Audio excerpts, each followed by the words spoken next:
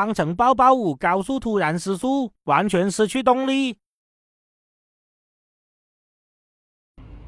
事发时的行车记录仪。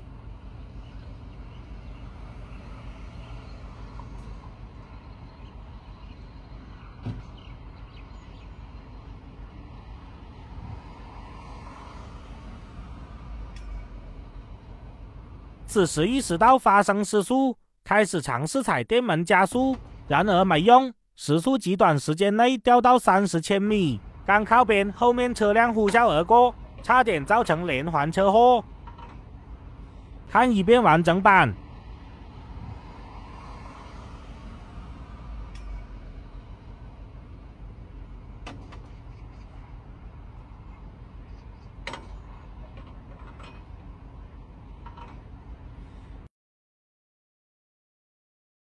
后续会更新比亚迪处理态度，欢迎大家一起监督。